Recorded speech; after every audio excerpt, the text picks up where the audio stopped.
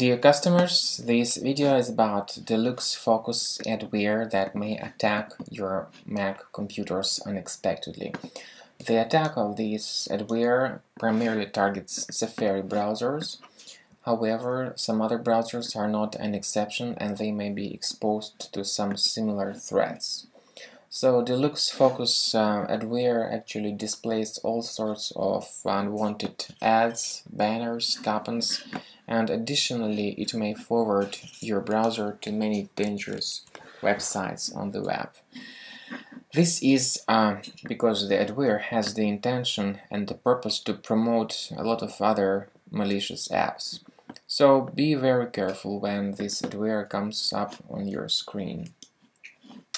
I'll explain how to get rid of it manually. You may access Safari Preferences and then go to Extensions and click on Uninstall. It will be mentioned that you first need to remove the application, so click on Show in Finder. Uh, before you remove the program, click on Command Option and Escape hotkey and find this Deluxe Focus adware and click on Force Quit. Afterwards, you may feel free to move this program to the trash and you may notice that the list of extensions is also free of this adware.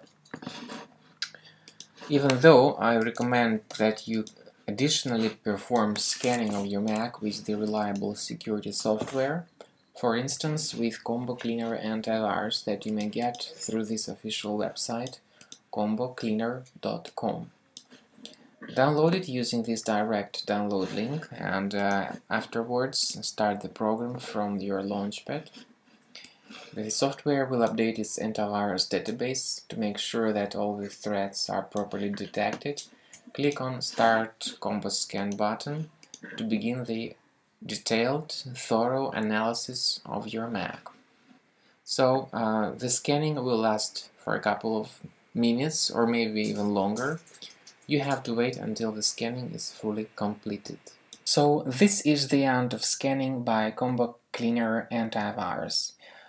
As you see, so far 16 threats were found on our computer and obviously these threats represent danger to the safety of your Mac and of your personal information.